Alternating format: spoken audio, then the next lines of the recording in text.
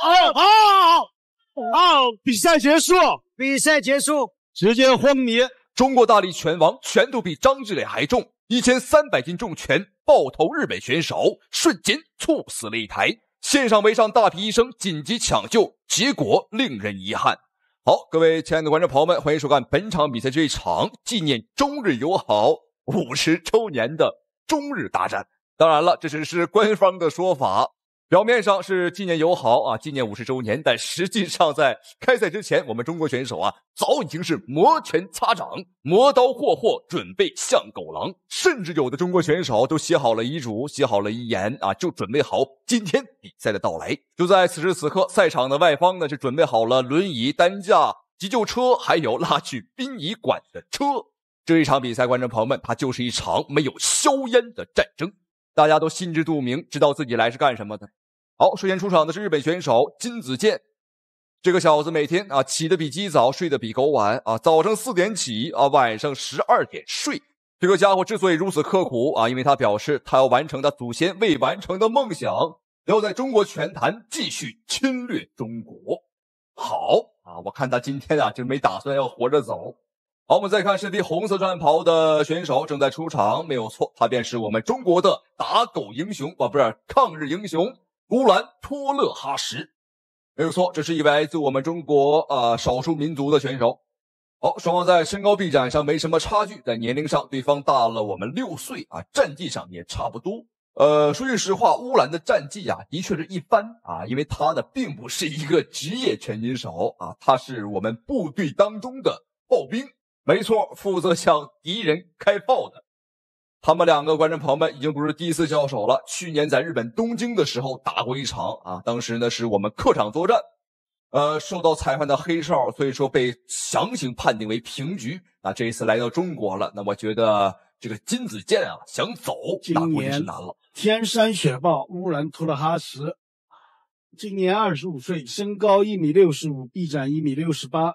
蓝角拳手金子健，日本三今年三十一岁，身高一米六十六，臂展一米六十七。去年在东京首届中日对抗赛上打满六个回合，最终平局收场。今晚他们是这二番战，相信他们两人已经知己知彼，一定会有一场精彩的对决。我们拭目以待。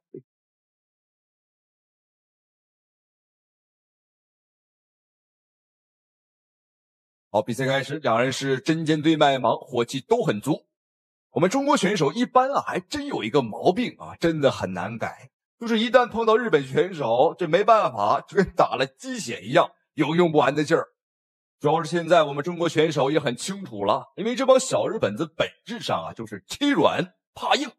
你不打的狠一点儿，他就蹬鼻子上脸；你打的狠一点儿，他就夹着尾巴，他就老实了。说白了啊，就是欠揍、欠收拾的命。呃，可以等的，直接上来就，哦，前手摆拳非常好，直接命中，又是一个。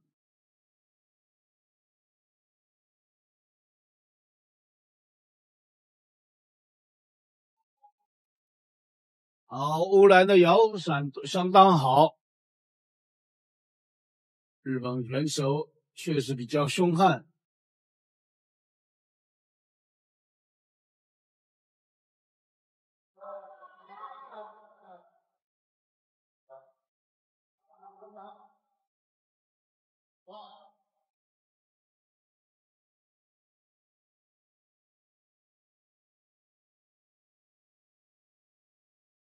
大家别看乌兰呢长得不是很壮啊，他的身材也不是特别的敦实，但是乌兰的外号叫大力拳王啊，据说他的重拳能够打出千斤的威力啊，传闻是比张志烈还猛，所以说被称为了大力拳王。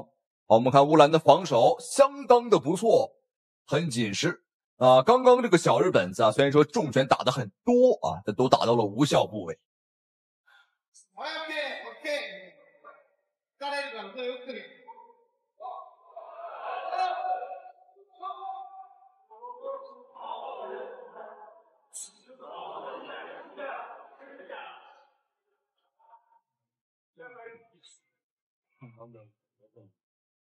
嗯。第一回合双方的比赛还剩最后十五秒钟。呃，中日拳坛之间啊，真是积怨已久啊。很多人说说足球是没有硝烟的战场，但我个人感觉啊，这个拳击擂台才是真正没有硝烟的战场啊！但这里有血有汗啊，这是真打呀，搞不好有的时候还会打出命案。好，第一回合比赛结束，乌兰在第一回合的表现是相当的沉稳，相当的稳健啊，不着急，因为第一回合嘛，先简单的切磋。先熟悉一下这个小日本什么来头啊？到底什么战术？接下来第二回合才是我们发力的时候。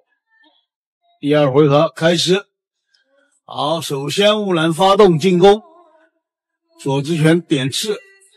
大家不要认错了，白色裤衩是我们中国选手，而红色裤衩是小日本子啊，金子健。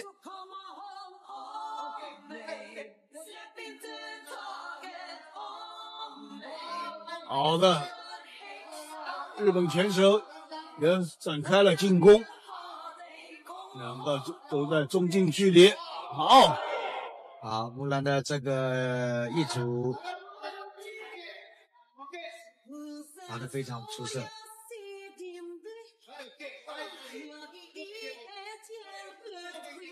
双方你来我往，大家互不甘示弱。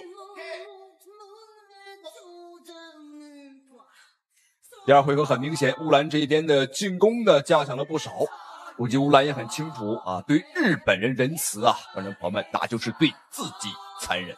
呃，总有一帮啊，不知道是什么品种的东西啊，总喊着说什么要遗忘历史啊，要放弃仇恨。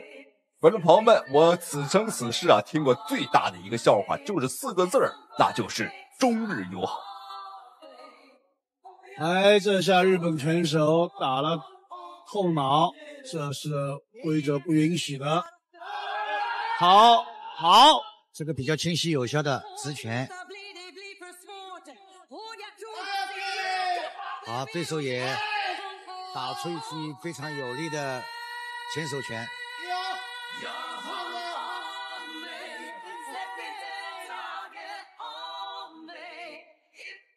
哦，好，好。一个副手重拳啊！比赛结束。哦，观众朋友们，音乐走起！看到这一幕，我就放心了。我这颗悬着的心呐，终于放下了。这场比赛，这位乌兰啊，这位拳坛大力拳王，果然是没有让我们失望啊！这拳的话，的确是打的太给力、太解气了。我们中国人一向很大方啊，什么轮椅呀、担架，干脆别用了，直接给他抬上车啊，抬上这个黑色的。拉去殡仪馆的小车啊，直接火化就行了。反正他呀是活着浪费空气啊，死了也浪费土地，干脆啊往河里一撒，完事儿了啊。好，本场比赛咱们恭喜乌兰获得比赛胜利，非常精彩。同时，也非常感谢屏幕前您的收看与支持，咱们下期视频